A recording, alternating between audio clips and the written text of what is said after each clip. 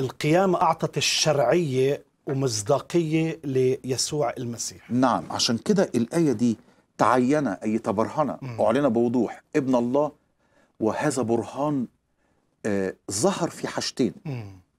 ظهر في حياته القدوسة الخالية من الخطية. الإنسان الوحيد الذي لم يخطئ. مم. الشيطان ضرب كل البشر.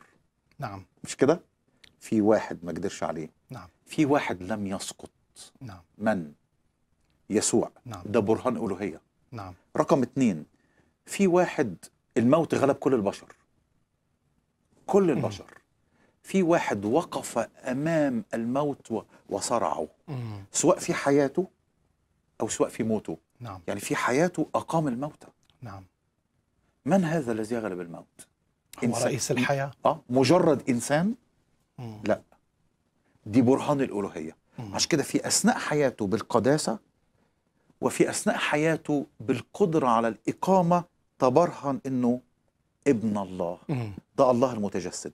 لكن لو كان ما راحش للصليب كان يظل هو الوحيد اللي قهر الخطية بالقداسة وقهر الموت بالقيامة ويمشي على السماء لوحده. إحنا ما نروحش. إحنا مم. كلنا نهلك. نعم. لكن هو راح للصليب ليه؟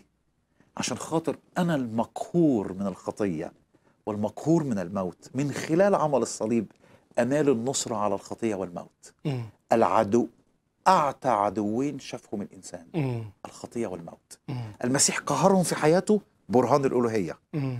راح قهرهم في الصليب نعم بالموت والقيامة المرة دي لصالحي أنا مش. لصالحه هو